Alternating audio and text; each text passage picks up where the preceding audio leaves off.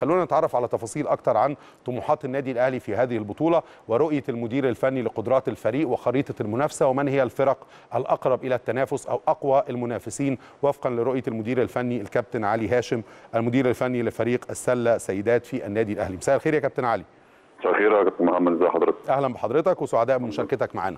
اولا بالتوفيق موفقين في استكمال مشواركم المتميز على مستوى المنافسات المحلية وأيضا في البطولة الأفريقية القادمة إن شاء الله. يا رب دعواتك إن شاء الله بإذن الله. موفقين بإذن الله. يا كابتن علي.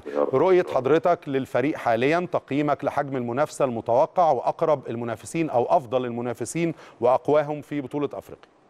بص البطولة دي آه، آه، قوية جدا. أول مرة في تاريخ النادي الأهلي آه، سيدات يشترك فيها. آه، لحد دلوقتي 10 فرق اللي أكدوا خلاص. آه، آه، أنجولا وموزمبيق دول هيبقوا أقوى الفرق. آه، وممكن تخش معاهم نيجيريا. آه، هيبان كل حاجة في الاجتماع الفني يوم الخميس بإذن الله.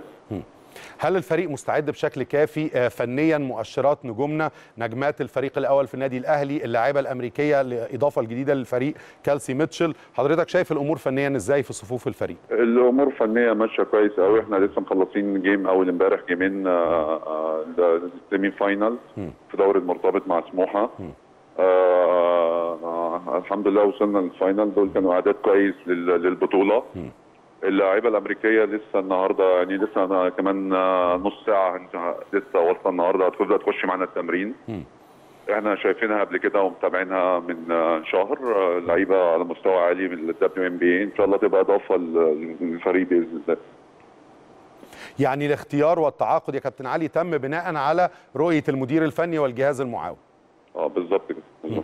طيب هل حضرتك شايف إنها هتمثل فارق كبير إن شاء الله؟ هل كان الفريق في حاجة إلى الدعم بلاعيبة أجنبية محترفة؟ وإيه الإضافة الفنية اللي حضرتك متوقعها بوجود لاعيبة أمريكية على غرار ما يحدث مع فرق الرجال؟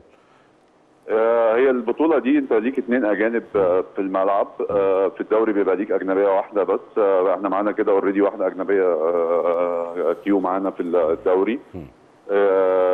اللعيبة الثانية كل الفرق جايبه فكان لازم نجيب واحدة تدعمنا.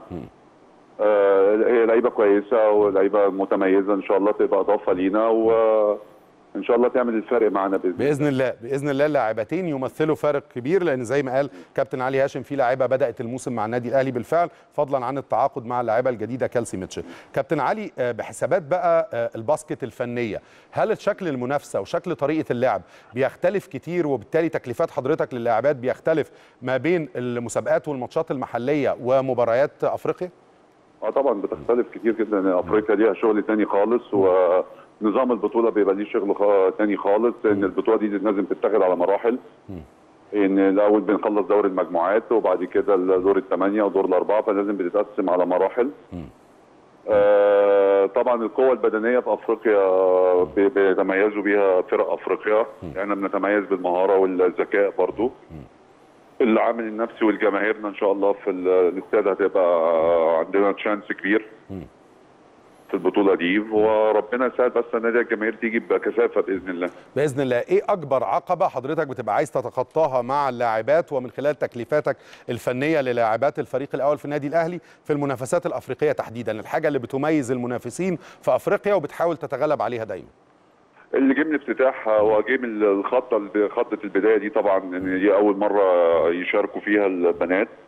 فال game الأولاني هيبقى آه، الانطلاقة بإذن الله إن شاء الله. بإذن الله نعمله كويس ونعديه بإذن الله. إن شاء الله الأمور موفقين. هتمشي كويس الله بإذن الله. خطوة خطوة الأمور تمشي وإحنا عارفين إنكم بإذن هتتعاملوا مع كل مباراة كبطولة منفصلة وموفق مع فريقك بإذن الله يا كابتن علي. إن شاء الله بإذن الله. بشكر حضرتك شكرا جزيلا لك.